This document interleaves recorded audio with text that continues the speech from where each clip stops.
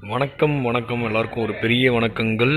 நீங்கள் பார்த்துட்டு இருக்கிறது கன்ஸ்ட்ரக்ஷன் ஃப்ரம் த பேசிக்ஸ் ஒரு வீடு ஸ்டார்டிங்லேருந்து கட்டி முடிக்கிற வரைக்கும் என்ன மாதிரியான விஷயங்கள்லாம் இருக்குன்னு ப்ராக்டிக்கலை பார்த்து தெரிஞ்சுக்க போகிறீங்க எஸ் இன்றைக்கி எபிசோடில் எதை பற்றி பார்க்க போகிறோம் பேச போகிறோம் அப்படின்னா பிரிக் ஒர்க்கோட ஃபினிஷிங் லெவல் ஒன்று நம்பர் டூ பிரிக் ஒர்க்கோட க்யூரிங் அப்புறம் ஒரு சில தவறுகள் தவறுகள்னு சொல்ல முடியாது. யூஸ்வலாக காமனாக எல்லா ஒர்க்லேயும் நடக்கக்கூடிய ஒரு விஷயம் அதை ரெக்டிஃபை பண்ணணும். அது என்ன? நீங்களும் அதை தவிர்க்கணும். அது எல்லாத்தையும் நடக்க தான் செய்யும். நடந்துச்சு ஃபேஸ் பண்ணிங்கன்னா அந்த ப்ராப்ளம் இது வந்து மிஸ்டேக் கிடையாது ப்ராப்ளம் அந்த ப்ராப்ளத்தை எப்படி ஃபேஸ் பண்ணுறது அதையும் இதில் சொல்ல போகிறேன் அண்ட் இன்னும் நிறைய விஷயங்கள் இதில் நம்ம பார்க்கலாம். தமிழ் உங்களில் உறவினர்கள் அனைத்து உள்ளங்களுக்கும் எனது அன்பார்ந்த வணக்கங்கள் எல்லாருக்கும் ஒரு பெரிய ஹாய். நான் தான் உங்கள் தமிழழகன் பேசுகிறேன் இன்றைக்கி விஷயத்துக்குள்ளே போகிறதுக்கு முன்னாடி மக்கள் எப்போவுமே கேள்விகள் கேட்டாங்கன்னா அதுக்கு பதில் சொல்லுவேன். ஸோ என்கிட்ட இப்போது லாஸ்ட்டாக கேட்ட கேள்வி என்ன அப்படின்னா இதுக்கு முன்னாடி எபிசோட்ஸில் பார்த்துருப்பீங்க. டூ டேஸாக வந்துட்டு நம்ம காங்கிரீட்டுக்குலாம் க்யூரிங் பண்ணிகிட்டு இருந்த வீடியோஸ் பார்த்துருப்பீங்க. ஐ மீன் பிளிந்த் பீமுக்கு க்யூரிங் தண்ணி விடுற வீடியோஸ் அதை பார்த்து கேட்டிருந்தாங்க. நீங்கள் சைட் இன்ஜினியர் தானே நீங்கள் ஏன் க்யூரிங் பண்ணுறீங்க நீங்களாம் இதை பண்ணலாமா? ஆள் இருப்பாங்களே அப்படின்ட்டு. ஆக்சுவலாக சாட்டர்டே சண்டே ஒரு க்யூரிங் பண்ணுறதுக்காக ஆள் வந்து நம்ம கூட்டிகிட்டு வர முடியாது ரொம்ப தூரத்துலேருந்து. அப்போ என்ன பண்ணோம் அப்படின்னா வேறு வெளில ஜஸ்ட் தண்ணி விடுறது தானே அதை நம்ம தான் பண்ணி ஆகணும். இது ஒரு கட்டாயம் சூழ்நிலை வரும் இந்த இடத்துல நம்ம ப்ரெஸ்டீஜ் ஷோ பார்க்கக்கூடாது இமேஜ்லாம் பார்க்கக்கூடாது. நான் போய் தண்ணி பிடிக்கிறதா அப்படிலாம். அண்ட் அதையும் தாண்டி ஈஸியாக ஒரு விஷயம் சொல்கிறேன் இப்போது நீங்கள் சொந்தமாக ஒரு வீடு கட்டுறீங்க அப்படின்னா எவ்வளோ பொத்தி பொத்தி பார்த்துருப்பீங்க? அதே மாதிரி தான் இது வந்துட்டு நம்ம ஒர்க்கு ஓகேவா நம்ம சைட் இன்ஜினாக ஒர்க் பண்ணுறோம்னா இது வந்து நம்மளோட ஒர்க்கு நம்மளோட ஒர்க்கு குவாலிட்டியாக இருக்கணும் அப்படின்ற பட்சத்தில் அது க்யூரிங் பண்ணால் தான் அது பயங்கர ஸ்ட்ரென்த் ஆகும். அப்போ அந்த க்யூரிங் நம்ம பண்ணுறதுல தப்பே இல்லை. அண்ட் அதையும் தாண்டி நான் ஏன் பண்ணேன்னா எனக்கும் நான் ஏன் பண்ணணும்னு ஆசைப்பட்டு பண்ணேன் அப்படின்னா நம்மளுக்குலாம் சின்ன வயசுலேருந்து இந்த தண்ணியில் விளாட்றது ரொம்ப பிடிக்கும். வந்து ஓசை பிடிச்சி விளாட்றது தான். ஸோ அதனால் வந்துட்டு அது நானாக விருப்பப்பட்டு ஆசைப்பட்டு ரெண்டு நாள் நானாக வந்துட்டு காலையில் டூ டைம்ஸ் மத்தியானம் அப்புறம் ஈவினிங் டூ டைம்ஸ் இந்த மாதிரி வந்து க்யூரிங் பண்ணிட்டு போயிட்டு இருந்தேன். சரி வாங்க இன்றைக்குள்ளே கண்டென்ட்டுக்குள்ளே போகலாம். ஓகே வண்டி போயிடட்டும் ஏன்னா நமக்கு இடஞ்சல் ரோடு க ஸ்பேஸ் இல்லை. அதனால் பாருங்கள் ஒரு வண்டி வந்துட்டு போகிற அளவுக்கு தான் இடம் இருக்கும். ஸோ நம்ம முடிஞ்ச அளவுக்கு மெட்டீரியல்லாம் இப்படி தான் ஸ்டோர் பண்ணி வைக்க வேண்டியதாக இருக்குது ஆக்சுவலாக நம்மளுக்கு மெட்டீரியல் ஸ்டோர் பண்ணுறதுக்கு back side back side ready பண்ணி வச்சுருந்தோம். பட் இந்த எலெக்ஷன் டைமில் அங்கே ஷெட்டு போட்டாங்க. அதனால் நம்மளுக்கு முடியாமல் போச்சு. அது இன்னும் கொஞ்ச நாள் ரிமூவ் பண்ணிவிடுவாங்க அதுக்கப்புறம் நம்ம மெட்டீரியல் அங்கேயே இறக்கிடலாம். சரி நான் அந்த ரெக் ரெக்டிஃபிகேஷன் ப்ராப்ளம் வந்துச்சா ரெக்டிஃபிகேஷன் அந்த ப்ராப்ளம் ஃபஸ்ட் சொல்லிடுறேன். எல்லா இடத்துலையும் வராது பட் ஒன்று ரெண்டு இடத்துல வரும் சரியா? பட் நம்மளுக்கு வந்துட்டு இந்த எல்லா இடத்துலையும் ஒரே ஒரு இடத்துல தான் அந்த ப்ராப்ளம் வந்துச்சு. அந்த ப்ராப்ளம் என்னன்னு சொல்லிடுறேன். அந்த ப்ராப்ளம் நீங்கள் ஃபேஸ் பண்ணிங்கன்னா எப்படி ரெக்டிஃபை பண்ணணும் அப்படிங்கிறத சொல்லிடுறேன். இந்த காலம் இருக்கு ரைட்டா? இந்த காலம் கம்பி. ஸோ கம்பி பார்த்தீங்க அப்படின்னா சாலிடு தான். பட் சாலிட் இந்த சென்ஸ் பியோர் சாலிட் கிடையாது. அது வந்துட்டு ஃப்ளெக்சிபிள் ஸோ ஃப்ளெக்சிபிளாக இருக்கிற போது பார்த்தீங்க அப்படின்னா லென்த்தாக இருக்கும்போது உங்களுக்கு பெண்ட் ஆகும். ஓகேவா ஸோ லென்த்தாக இருக்கும்போது பெண்ட் ஆகும். அப்போது பெண்ட் ஆகிற பட்சத்தில் நம்ம கீழே வந்து அதுக்கு ஒரு சப்போர்ட் கொடுக்குறோம் பிடிமானம் கொடுக்குறோம் அப்படின்னா அந்த பிடிமானம் பார்த்திங்க அப்படின்னா காங்கிரீட் போடுவோம். காங்கிரீட்டும் பியோர் சாலிடு கிடையாது. அதுவும் வந்து ஒரு கலவை. ஸோ அந்த கலவை வந்து நம்ம உள்ளுக்கு போடும்போது போட போட மேலே வந்து நம்ம ப்ராப்பராக முட்டு கொடுத்து இதை வந்து போடும்போது முட்டு கொடுத்து எல்லாம் ப்ளேஸ் பண்ணி தான் போட்டிருப்போம்.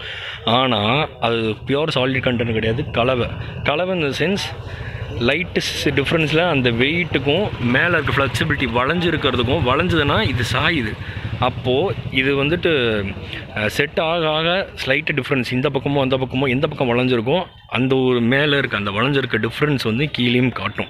ஸோ அப்படி கீழே காட்டும்போது நம்மளுக்கு மார்க் பண்ணும்போது மெஷர் பண்ணும்போது இந்த மாதிரி பிரிக் ஒர்க் பண்ணும்போதெல்லாம் வந்துட்டு பார்த்தீங்க அப்படின்னா நம்மளுக்கு வந்துட்டு ப்ராப்ளம் ஏற்படும். அப்போது நம்ம அதை வந்து ரெக்டிஃபை பண்ணும் பெரிய டிஃப்ரென்ஸ் கிடையாது. ஸ்லைட் இதோ இவ்வளோ டிஃப்ரென்ஸ் இவ்வளோ டிஃப்ரென்ஸ் இல்லை இவ்வளோ டிஃப்ரென்ஸ் வச்சுக்கலாம் அது எப்படி ரெக்டிஃபை பண்ணுறது அப்படின்னு பார்ப்போம். ஏன்னா நம்மளுக்கு வந்து இந்த இடத்துலையும் இதுக்கு பக்கத்தில் இருக்க இடத்துலையும் மார்க்கிங் மெஷர்மெண்ட் uh, வந்து இடிக்கும். அந்த மெஷர்மெண்ட்டை நம்ம இதை கரெக்ட் பண்ணால் மட்டும்தான் அது நம்மளுக்கு கரெக்டாக கிடைக்கும். சரி எப்படி கரெக்ட் பண்ணுறது வளைஞ்சிருச்சு எப்படி கனெக்ட் பண்ணுறதுன்னு பார்த்தீங்க அப்படின்னா வெயிட் ஒரு ராடு ஒன்று இருக்கும். ஒரு நிமிஷம். அண்ணா இந்த ராடு எடுத்து கொடுங்கண்ணே. இந்த இந்த ராடு எடுத்து கொடுங்க. ஓகே ஸோ இந்த ரோடு பாருங்கள் ஓகேவா இந்த இடத்துல இப்போ பார்த்தீங்கன்னா ஒரு பிடிக்கிறது ஒன்று இருக்கா? ஸோ இதை வந்து என்ன பண்ணுவாங்க அப்படின்னா அந்த ராடு ஒரு இடத்துல இப்படி உள்ளே விட்டு ராடை பிடிச்சி நிமித்துவாங்க. எந்த சைடு நம்ம வேணுமோ அந்த சைடுக்கு அட்ஜஸ்ட் பண்ணி டைட் பண்ணி நிமித்துவாங்க. பார் ஓகேவா இது வந்து பாருன்னு சொல்லுவாங்க. பாரை போட்டு நிமித்துவாங்க. நிமித்துனாங்க அப்படின்னா நம்மளுக்கு மெஷர்மெண்ட் கரெக்டாக வந்துடும் இந்த இதுவும் கரெக்டாக வந்துடும் ஸோ நம்மளுக்கு வந்துட்டு நான் இந்த ஒரு விஷயம் சொல்லி முடிச்சிட்டேன்னா ரெக்டிஃபை பண்ணுறது அடுத்தது. நம்ம நேற்று போட்டு முடித்தது பார்த்தீங்க அப்படின்னா சைடு ஃபுல்லாக இருக்க லென்த்து இந்த சைடு ஃபுல்லாக இருக்க லென்த்து அப்புறம் லாஸ்ட்டில் இருக்க அந்த ரெண்டு பாக்ஸ் ஃபுல்லாக நேற்று பண்ணி முடித்தோம் இன்றைக்கி இந்த ஒர்க்கு ஏன் பாதியோடு நேற்று முடிச்சது? இன்றைக்கி ஏன் மிச்ச ஒர்க் வந்துட்டு பேலன்ஸ் இன்றைக்கி பண்ணுறோம் அப்படின்னு ஒரு கேள்வி எழும்பும். ஏன் அப்படின்னா நம்மளுக்கு வந்து மெட்டீரியல் லோடு வந்துட்டு நேற்று வர ரொம்ப டிலே ஆகிடுச்சு அதனால் வெயிட் வண்டி போகிறதுக்கு இடம் இல்லையா? ஸோ வந்துட்டு மெட்டீரியல் இந்த நம்மளுக்கு வரதுக்கு ரொம்ப டிலே ஆகிடுச்சு அதனால் வந்து ஒர்க்கும் ஸ்டார்ட் ஆக லேட் ஆகிடுச்சு ஸோ எப்போவுமே இந்த ஒரு பிரச்சனை நம்மளுக்கு இருக்கும். மெட்டீரியல் சீக்கிரம் வந்தால் மட்டும்தான் ஒர்க்கை ஸ்டார்ட் பண்ண முடியும். லேபர்ஸ் டைமுக்கு வந்துடுவாங்க ஆனால் மெட்டீரியல் இருந்தால் தான் அவங்களுக்கு வேலையே நடக்கும். அது வரைக்கும் அப்படியே சும்மா தான் உட்காந்துருந்தாங்க மற்ற சின்ன சின்ன கரெக்ஷன் ஒர்க்லாம் பார்த்துட்டு இருந்தாங்க ரெடி பண்ணிட்டு இருந்தாங்க. சரி இப்போது இந்த ஃபினிஷிங் இப்போ வந்து பிரிக் ஒர்க்குக்கு ஃபினிஷிங் க்யூரிங் ஃபஸ்ட்டு சொல்லி அப்புறம் ஃபினிஷிங்கை சொல்கிறேன் நான். நேற்று நம்ம அதை பண்ணியிருந்தோம் ரைட்டா ஸோ நான் அந்த பீம் காங்கிரீட் போட்டப்போ க்யூரிங் பண்ண சொல்லியிருந்தேன். ஸோ இந்த ஒரு வேலைக்கும் நம்ம க்யூரிங் பண்ணணும். எப்போ கட்டி முடிக்கிறோமோ அதுக்கு அடுத்த நாள் வந்து நம்ம எந்த அளவுக்கு க்யூரிங் பண்ணுறோமோ அந்தளவுக்கு ஸ்ட்ரென்த் ஆகும். க்யூரிங் வந்துட்டு நம்ம பில்டிங் ஃபுல்லாக கட்டி முடிக்கிற வரைக்கும் ஃபுல் ஒர்க்குக்குமே எல்லா ஸ்ட்ரக்சருக்கும் எல்லா ஒர்க்குக்கும் கண்டிப்பில் கம்பல்சரி கண்டிப்பாக நம்ம க்யூரிங் பண்ணி ஆகணும். எல்லா ஒர்க்கும் அப்படின்னா அப்போ எலக்ட்ரிக்கல் ஒர்க்கு மற்ற பைப் ஒர்க் எல்லாத்துக்கும் க்யூரிங் பண்ணணுமான்னு கேட்பீங்க ஸோ ஜஸ்ட் ஃபார் ஃபன் அப்படின்னு கிடையாது. இந்த மெட்டீரியல் வச்சு யூஸ் பண்ணி ஒர்க் பண்ணுறோம் ரைட்டா ஸோ இதுக்கு எல்லாமே நம்ம க்யூரிங் மஸ்ட்டு பண்ணி ஆகணும். ஸோ நேற்று போட்டதுக்கு நம்ம க்யூரிங் பண்ணிட்டோம். இப்போ இன்றைக்கி போட்டிருக்காங்க ரைட்டா இன்றைக்கி ஈவினிங் க்யூரிங் பண்ணுவாங்க நாளைக்கு க்யூரிங் பண்ணுவாங்க. க்யூரிங் பண்ணும்போது அதையும் சேர்த்து நம்ம பண்ணுவோம். சரி இப்போ ஃபினிஷிங் க்யூரிங் முடிச்சாச்சுல இப்போ ஃபினிஷ் ஃபினிஷிங் ஒர்க்குக்கு போகலாம் ஓகே இப்போது இதுவும் அதுவும் இது ரெண்டுத்தையும் இப்போ நம்ம கம்பேர் பண்ணிப்போம். இது இப்போ போட்டது இது நேற்று போட்டது. நேற்று என்னங்கண்ணே? ஆ இது நம்ம மேஸ்திரி அண்ணன். பார்த்துங்க ஒரு வணக்கம் சொல்லியிருங்கண்ணே வணக்கம். ஓகேவா ஸோ நம்ம ஒர்க் பண்ணுற லேபர்ஸ் நம்ம அண்ணாங்க. ஸோ இவர் ஹிந்திக்கார். அண்ட் ஆமாம் நிறைய பேர் கேட்டிருந்தீங்க. அந்த மாதிரி ஒர்க்கர்ஸ் மோஸ்ட்லி ஹிந்திக்காரங்களாம் இருப்பாங்கன்ட்டு. நம்ம தமிழ்காரங்களும் இருப்பாங்க. சரியா? ஸோ மோஸ்ட்லி நம்ம இந்த மாதிரி இண்டிவிஜுவல் ப்ராஜெக்ட் பண்ணும்போது நம்ம தமிழ்காரங்க கூட இருப்பாங்க. நம்ம பெரிய பெரிய ப்ராஜெக்ட் கவர்மெண்ட் ப்ராஜெக்ட்லாம் போகும்போது ஹிந்திக்காரங்க வருவோம் ஸோ ஹிந்தி தெரிய தெரியாது அப்படிங்கலாம் ஒன்றும் பயப்பட வேணாம். ஹிந்தியில் நம்ம இங்கே பேசக்கூடிய வார்த்தையே ஒரு நாலஞ்சு வார்த்தையும் திருப்பி திருப்பி பேசுவோம். அதனால் நீங்களாம் ஈஸியாக கற்றுக்கலாம் ஸோ அதுதான். அவர் வந்துட்டு ஹெல்ப்பாக அப்பப்போ வந்துட்டு கூட இருந்து ஒர்க் சீக்கிரம் முடிக்கணும். அதுதான் அந்த விஷயம். ஸோ கூட இருந்து பயங்கரமாக ஹெல்ப் பண்ணுவாங்க. இப்போ அந்த ஃபினிஷிங் ஒர்க் உங்களுக்கு சொல்கிறேன் நான். ஸோ இது இப்போ கட்டிக்கிட்டு இருக்கிறது அது ஃபினிஷ் பண்ணுது. அது எவ்வளோ நீட்டாக இருக்குது பார்த்தீங்களா நீங்கள் கேட்பீங்க எப்படி அந்த நீட்னஸ் கொண்டு வராங்க? அந்த நீட்னஸ் இதுதான் ஃபினிஷிங் லெவல் அது முடிச்சிருக்கு ரைட்டா ஸோ அதுதான் ஃபினிஷிங் லெவல் எப்போவுமே ஒரு ஸ்ட்ரக்சருக்கு கண்டினியூட்டின்னு ஒரு விஷயம் சொல்லுவேன். அது கண்டினியூட்டி இருக்கணும் நம்மளுக்கு. அந்த கண்டினியூட்டிக்கு தான் இந்த ஒரு ஃபினிஷிங் லெவல் அதே மாதிரி இங்கே கொண்டு வரணும். அது எப்படி இங்கே கொண்டு வருது அப்படின்னா இதை கட்டி முடிச்சிட்டாங்கல்ல? கட்டி முடிச்சதுக்கப்புறம் கலவை. எப்போவுமே எந்த ஒரு ஒர்க் பண்ணும்போதும் நம்மளுக்கு வேஸ்டேஜ் ஆகும். கீழே கொட்டி இருக்கல அதுக்கு என்ன பண்ணுவோம்னா சாக்கு கீழே போட்டுப்போம் அந்த பக்கம் போட்டிருந்தாங்க இந்த பக்கம் போடல. சரி போடலை என்ன பண்ணலாம்? ஒன்றும் பிரச்சனை இல்லை. இப்போ இந்த கேப்லாம் இருக்கு ரைட்டா இந்த பக்கம். ஸோ கீழே இருக்க கலவைலாம் எடுத்து அந்த கேப்பில் ஃபில் பண்ணுவாங்க. ஃபுல்லாக இதோ அந்த மாதிரி அதில் ஃபுல்லாக ஃபில் பண்ண மாதிரி. கேப் தெரியாத ஃபுல்லாக ஃபில் பண்ணிடுவாங்க. அப்போ கீழே இருக்க வேஸ்டேஜ் வந்துட்டு சும்மா இத்தனோண்டு வேஸ்டேஜ் இருக்கும். மற்றபடி இருக்க வேஸ்டேஜ் எல்லாத்தையும் எடுத்து நம்ம யூஸ் பண்ணிவிடுவோம் ஸோ அந்த வேஸ்டேஜுக்கு நம்ம கீழே வந்துட்டு இது சாக்கு கோணிபி போட்டிருப்போம் அந்த கோணிபி இருக்க கலவையை லாஸ்ட்டில் நம்ம யூஸ் பண்ணிப்போம். ஸோ முடிஞ்ச அளவுக்கு வேஸ்டேஜை தவிர்க்கணும். அந்த ஒரு விஷயம். சரி ஃபுல்லாக பூசி முடிச்சாச்சா? பூசி முடிச்சதுக்கப்புறம் ஸ்டெப் நம்பர் ஒன் அந்த கீழே தான் எடுத்து கேப் ஃபில் பண்ணிடுவோம். ஸ்டெப் நம்பர் டூ என்ன பண்ணுவோம் அப்படின்னா அந்த விளக்கமாறு இருக்கா? ஸோ விளக்கமாறு எடுத்து ஃபுல்லாக ஸ்ப்ரெட் பண்ணி விடுவாங்க. ஸ்ப்ரெட் பண்ணும்போது நம்மளுக்கு ஓரளவுக்கான பிசுறெலாம் வெளியே வந்து ஈவன் லெவல் கிடச்சிரும். ஈவன் லெவல் கிடச்சதுக்கப்புறம் லைன் இருக்கா? அழகாக ம கோடு போட்டிருக்காங்களா? ஸ்ட்ரெயிட் ஸ்ட்ரெயிட்டாக அழகாக கோடு போட்டிருக்காங்களா? அந்த கோடு எதை வச்சு போடுவாங்க அப்படின்னா மட்டப்பலகை இருக்குமே. அந்த இடத்துல ஸ்டிக் ஒன்று சைடில் செவுத்தில் சாய்ச்சி வச்சுருக்காங்களா? அதுதான் மட்டப்பலகை. ஸோ அந்த மட்டப்பலகையை வச்சு ஸ்ட்ரெயிட்டாக ஹரிசான்டலில் வச்சு அப்படியே அந்த இடத்துல ஹரி அதாவது மட்டப்பலகையோட கார்னர் ஷேப்பை வச்சு வண்டி விடுதா? பத்தடி ஓகே இந்த மாதிரி டிஸ்டர்பன்ஸ் தான் இருக்கும். ஏன்னா நம்மளுக்கு வந்துட்டு ரோடு ஸ்பேஸ் இல்லை ரைட்டா ஓகே ஸோ அந்த மட்டப்பலையோட கார்னர் இதை வச்சு அந்த இடத்து கோடு போட்டு விடுவாங்க. கோடு போட்டோம்னா ஃபினிஷிங் லெவல் ஓகே அப் இதைத்தான் பியூட்டி அதாவது நம்மளோட ஒர்க்கில் நம்ம பண்ணுற வேலையில் வந்து அழகு இருக்கணும் அழகாக இருக்கணும் அப்படின்ற ஒரு விஷயம் இதுதான். ஸோ இதை விட அதை பாருங்கள் எவ்வளோ பியூட்டியாக இருக்குது அப்படின்னு. நம்மளோட ஒர்க்கு அழகானது. அதுக்கு இதுதான் காரணம். உதாரணம். சரியா? அடுத்தது வேஸ்டேஜ் சொல்லிவிட்டு அது சொல்லிட்டு ஆ அந்த ட்ரம்மு நம்ம சைட்டில் எப்போவுமே வந்துட்டு ஒரு ட்ரம் ஈர்க்கணும் அந்த ட்ரம்மில் தண்ணி எப்போவுமே ஃபுல்லாக ஈர்க்கணும் அதுக்கு காரணம் என்ன அப்படின்னா நம்ம வந்து ஒர்க்கெல்லாம் ஆரம்பிக்கிற மார்க்கிங்லாம் பண்ணுறதுக்கு முன்னாடி நம்ம ஃபஸ்ட் ஃபஸ்ட்டு நம்மளோட ஒர்க் எங்கே ஆரம்பிக்கும் அப்படின்னா போர் போடுறதுலாம் ஆரம்பிக்கும். போர் போட்டு தண்ணி ஒர்க்குக்கு வேணும் போர் போட்டுருவோம். அந்த போரை வந்துட்டு கரண்ட் மூலிமா வந்துட்டு நம்ம மோட்டர் மூலிமா எடுப்போம். ஸோ இப்போ கரண்ட் இருக்குது அப்படின்ற பட்சத்தில் ஸ்விட்சை போட்டு விட்டுட்டு நம்ம வந்துட்டு தண்ணி எடுத்து ஒர்க் பண்ணலாம். கரண்ட் ஆஃப் ஆயிடுச்சு கரண்ட் கட் ஆயிடுச்சு ஷட் டவுன் ஆயிடுச்சுன்னா என்ன பண்ணுவோம்? ஒர்க்குக்கு வந்து தண்ணி ரொம்ப தேவை. ஸோ தண்ணி ஸ்டோர் பண்ணி வைக்கிறது ரொம்ப ரொம்ப அவசியம். இது வந்து எப்போவுமே மைண்டில் வச்சுக்கணும். அண்டு எஸ் இது எல்லாத்தையும் உங்கள்கிட்ட சொன்னேன். இப்போ இந்த இதை கட்டுறது வந்து நீங்கள் ப்ராசஸ் நேரில் லைனாக பாருங்கள் ஒரு ரெண்டு லைன் இப்போ இவங்க போடுறாங்கல்ல? ஒரு ரெண்டு லைன் பாருங்கள் எப்படி போடுறாங்க அப்படின்ட்டு. சரி என்கிட்ட கேப் இருக்கா? எஸ்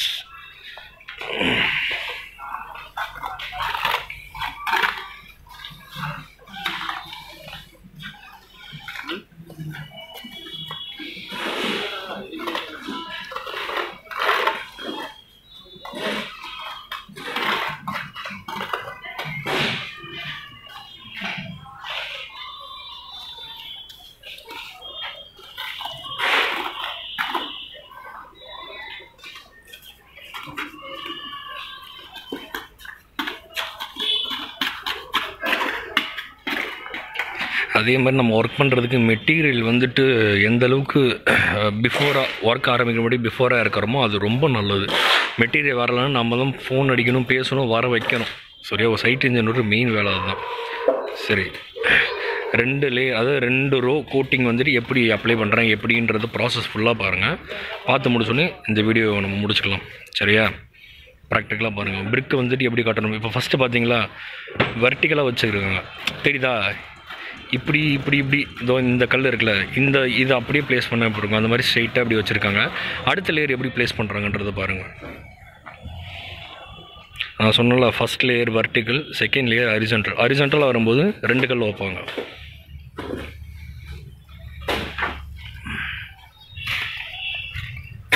ஸோ இதுதான். ப்ளம்போ வட்டு விட்டு பார்க்கறதுன்னு சொன்னால ஸோ லெவல் மேல் செங்கலும் கீழ் செங்கலும் ஸ்ட்ரெயிட் லைனில் இருக்கா அப்படின்னு இதை வச்சு தான் செக் பண்ணி பார்ப்பாங்க.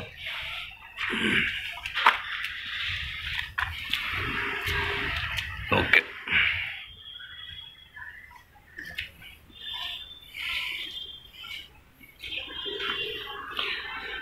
அப்போ நான் சொன்ன அந்த நூல் பிடிக்கிறது இந்த நூல் இருக்குது பாருங்கள் இந்த த்ரெட்டு ஆத்தடி. எஸ் இந்த த்ரெட்டு இந்த எண்டில் இருந்து இந்த எண்டு வரையும் கட்டிடுவாங்க. ஸோ ஒரே லைனில் ஒரே லைனில் வரும்.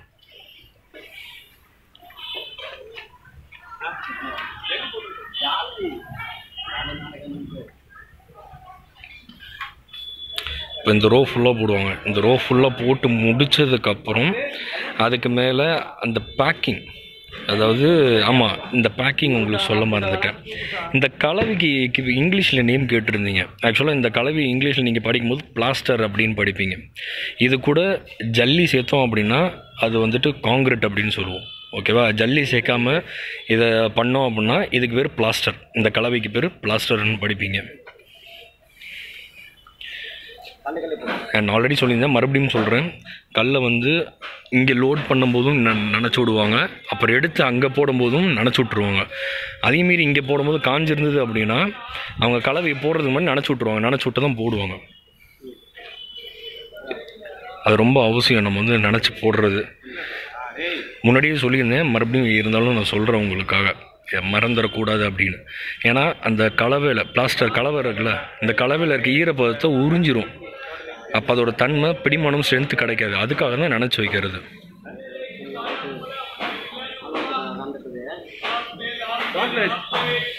அண்ட் மெயினாக இது வந்து ரொம்ப ரொம்ப நம்ம பிரிக் ஒர்க் பண்ணும்போது நோட் பண்ண வேண்டிய விஷயம். நோட் பண்ணுறதில் கவனமாக இருக்கணும். என்ன அப்படின்னா நம்ம வந்துட்டு இந்த காலம் சைடில் சுற்றி தான் நம்ம வந்து பிரிக் ஒர்க் கட்டுவோம். அப்போது கட்டும்போது காலமுக்கு கவர் கேப் படணும். காங்கிரீட்டு நம்ம வந்துட்டு கீழே காங்கிரீட் போடும்போது என்ன? சைடில் இது வச்சுருந்தோம் ரைட்டாக ஐ மீன் இந்த இதுக்கு பலகை. அதே மாதிரி இதுக்கு மேலே எழுப்பும்போது பலகை வைப்போம். பட் இப்போ நம்ம பிரிக் ஒர்க் இருக்கிறதுனால அந்த கேப் இருக்கும். இந்த பிரிக் ஒர்க்கும் அந்த பிரிக்கு ஒர்க்கும் அந்த கார்னரில் கேப் இருக்கும். அந்த கேப்பை வந்து ஃபில் பண்ணிவிடுவாங்க அது இதை வச்சு பேக் பண்ணிவிடுவாங்க பேக் பண்ணி ஃபில் பண்ணிட்டாங்க அப்படின்னா இந்த சைடு பழக வைக்க தேவையில்ல. பட் அந்த பக்கம் வந்துட்டு ஓப்பன் இருக்குது ஒரே ஒரு சைடு ஓப்பன் இருக்குது அப்போ அந்த ஒரு பக்கம் வந்துட்டு பழக வைக்கணும்.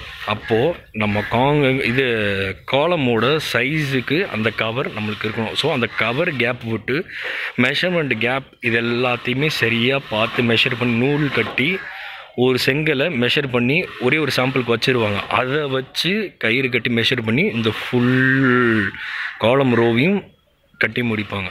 அவ்வளோ விஷயங்கள் இருக்குது நம்ம ஃபீல்டை பொறுத்த வரைக்கும் கற்றுக்கிட்டே போகலாம் நிறைய விஷயம். இந்த ரோ வரிசையாக பார்த்து எடுக்கிறாங்க பார்த்தீங்களா கேட்பீங்க இந்த ஒரு செங்கல் மட்டும் ஏன் திரும்பி இருக்குது அப்படின்னு கேட்பீங்க இது வந்து லென்த்து லென்த்தை அடிக்கிட்டு வரும்போது மெஷர்மெண்ட்டுக்கு இங்கே வந்து கொஞ்சம் டிஃப்ரென்ஸ் காமிச்சு இடிக்கும். ஸோ அப்போ இந்த கேப் எப்படி நம்ம ஃபில் பண்ணுறது ஸோ அப்போ வந்து இந்த செங்கல் வந்து ஓரத்தில் வைக்க மாட்டாங்க. மிடில் வைப்பாங்க. இந்த கேப்பை ஃபில் பண்ணுறதுக்கு நம்ம உடச்சி வைக்கிறதுக்கு பதிலாக முழு செங்கலை திருப்பி இப்படி வச்சிடலாம் அதுக்காக தான் திருப்பி வச்சுருக்குறாங்க. முடிஞ்ச அளவுக்கு வேஸ்டேஜ் இருக்கக்கூடாது செங்கல் வந்து நம்ம நிறைய உடையக்கூடாது ஸோ அதுக்கு நம்ம என்ன பண்ணணும் அப்படின்னு ஸோ இதை அரேஞ்ச் பண்ணி முடித்த உடனே கலவை எடுத்துகிட்டு வந்து லைனாக கொட்டி விட்டு போவாங்க. கொட்டி விடும்போது இந்த மாதிரி தண்ணியை வச்சு ஊற்றி உள்ளே பேக் பண்ணுவாங்க. அந்த கேப் கேப் இருக்கணும். அண்ட் ஒன் மோர் திங் இந்த ஒரு செங்கலுக்கு இன்னொரு செங்கலுக்கும் இந்த பேக் பண்ணுறதுக்கு கேப் இருக்கு ரைட்டா அந்த கேப் டிஸ்டன்ஸ் எவ்வளோ இருக்கணும் அப்படின்ட்டு உங்களுக்கு ஒரு டவுட் வரும். எவ்வளோ இருக்கணும் அப்படின்னா ஒரு விரல் அளவு. ஒரு விரலை நம்ம இப்படி உள்ளே விட்டோம் அப்படின்னா அந்த கேப்புக்குள்ளே விரல் போகணும். அந்த அளவுக்கு விட்டால் அந்த கேப் விட்டால் அப்படின்னா வாங் சொல்கிறாங்களா நமாஸ் பண்ணுற டைம் ஆச்சா? மணி ஒன்றா ஆயிடுச்சா ஆத்தாடி. எஸ் ஓகே இது ஃபுல்லாக பார்த்து முடிங்க. நம்ம அதுக்கப்புறம் வீடியோ முடிச்சிடலாம். ஸோ அந்த ஒரு விரல் கேப் இருந்தால் தான் கரெக்டாக உள்ளுக்கு போயிட்டு பேக் ஆகும். ஃபில் ஆகும்.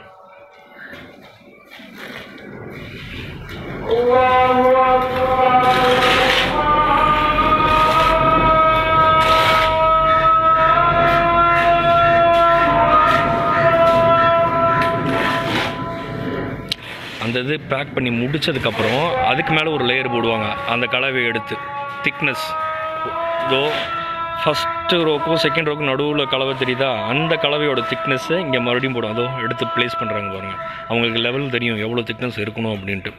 அந்த லெவலுக்கு பேக் பண்ணுவாங்க.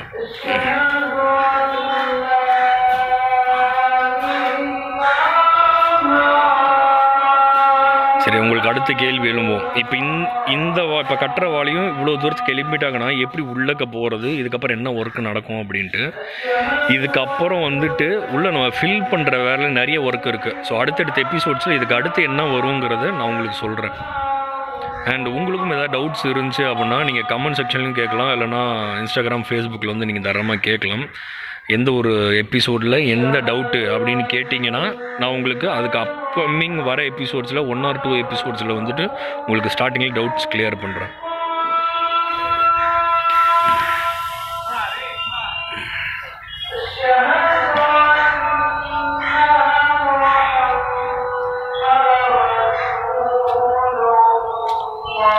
நம்ம ஒவ்வொரு ரோ போடும்போதும் செக் பண்ணுறது ரொம்ப பெஸ்ட்டு ஏன்னா நான் மறுபடியும் சொல்கிறேன் பேஸ்மெண்ட்லேருந்து கிரவுண்ட் ஃப்ளோர் ஃபுல்லாக வரைக்கும் என்னோடய first preference basement under ground work ஃபுல்லாக அப்புறம் இந்த கிரவுண்ட் ஃப்ளோர் ஒர்க்கு ஸ்டார்ட் பண்ணி கிரவுண்ட் ஃப்ளோர் வரைக்குமே.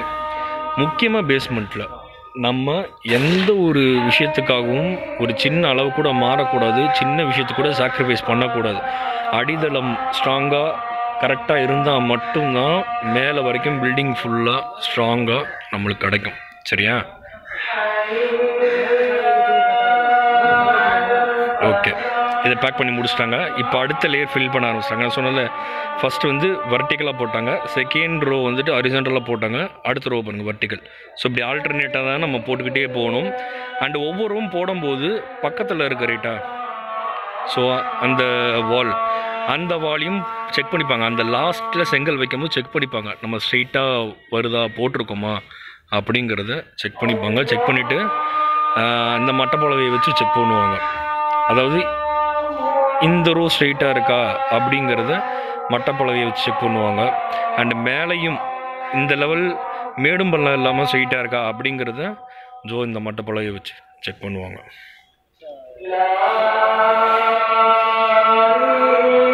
ஸோ இதுதான். எப்படி தான் செங்கல் கட்டணும். சும்மா வீடு கட்டுறோம் செங்கல் வச்சு கட்டிடலாம் நம்ம பாட்டுக்கு இஷ்டத்துக்கு வச்சு கட்டிடலாம்னு இல்லை. அதுக்கு ஒரு வரமுறை இருக்குது அதுக்கு ஒரு ப்ரொசீஜர் இருக்குது ஸோ அந்த வழி தான் நம்ம வந்து வீடு கட்டணும். இந்த மாதிரி சின்ன சின்ன விஷயத்தையும் நம்ம பார்த்து கேர்ஃபுல்லாக நோட் பண்ணி கட்டினா மட்டும்தான் நம்மளோட வீடு பில்டிங் அவ்வளோ அழகாக அமையும். சரியா? ஸோ அவ்வளோதான். இன்றைக்கி நிறைய விஷயங்கள் சொல்ல மா இது பண்ணிட்டேன். அண்டு முக்கியமான ஒரு சேஃப்டி மெஷர்ஸ் நம்ம ரோட்டில் இப்படி ஒர்க் பண்ணும்போது தண்ணியெல்லாம் இருக்கும். தண்ணியெல்லாம் இது பண்ணி தான் நம்ம வந்து ஒர்க் பண்ணுவோம். அப்படி ஒர்க் பண்ணும்போது நம்ம ஸ்டோர் பண்ணியிருக்கிற இடத்துல சிமெண்ட் வச்சுருப்போம். சிமெண்ட் எப்போவுமே மூடி வச்சுருக்கணும். ஏன்னா சிமெண்ட்டு த தண்ணி படாத அளவுக்கு சுற்றிலும் அதுக்கு சேஃப்டி மெஷர்ஸ் பண்ணியும் வச்சுருக்கணும். தார்பாய் இந்த மாதிரிலாம் போட்டு வச்சு. தண்ணி பிடிச்ச அப்படின்னா சிமெண்ட் இறுகிரும். இறுகிருச்சு அப்படின்னா சிமெண்ட் வேஸ்ட் ஆகிடும் ஸோ அந்த மாதிரி ஒவ்வொரு விஷயத்தையும் சேஃப்டி மெஷர்ஸ் ஃபாலோ பண்ணணும். ஸோ அவ்வளோதான் இன்றைக்கி எபிசோடில் சொல்லி முடிச்சிட்டேன். உங்களுக்கு ஏதாவது டவுட்ஸ் இருந்தாலும் நீங்கள் தாராளமாக கேட்கலாம்.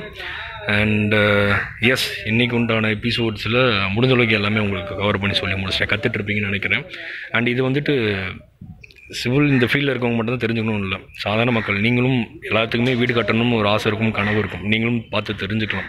இப்படி விஷயம் என்ன அப்படிங்கிறது. அண்ட் உங்களுக்கு தெரிஞ்சவங்க சிவில் ரிலேட்டடாக படிச்சுட்ருக்காங்க படித்து முடிக்க போகிறாங்க அப்படின்னா அவங்களுக்கெல்லாம் இந்த வீடியோஸை ஷேர் பண்ணி டெய்லி ஒரு எபிசோட்ஸ் இருக்குது பாருங்கன்னு பார்த்து தெரிஞ்சுக்க சொல்லுங்கள் அவங்களுக்கெல்லாம் பயங்கர யூஸ்ஃபுல்லாக இருக்கும். ஸோ எஸ் நம்ம வீடியோ முடிச்சுக்கலாம். அண்ட் இன்றைக்கி யாரெல்லாம் பிறந்தநாள் கொண்டாடுறீங்களோ உங்கள் எல்லாருக்குமே இனிய பிறந்தநாள் நல்வாழ்த்துக்கள். வாழ்க வளமுடன் அண்ட் அன்பேசுவோம் லைஃப்பில் எல்லோரும் பெரிய ஆளாக வாங்க அண்ட் இதே மாதிரி அடுத்தது இன்னொருத்தர் உங்களத்தையும் சந்திக்கிறேன். அத்துடன் உங்களிடம் இருந்து விடைபெறுவது உங்களில் ஒருவர். Love you all stay tuned டடா அண்ட் பாய் அன்பேசுவோம்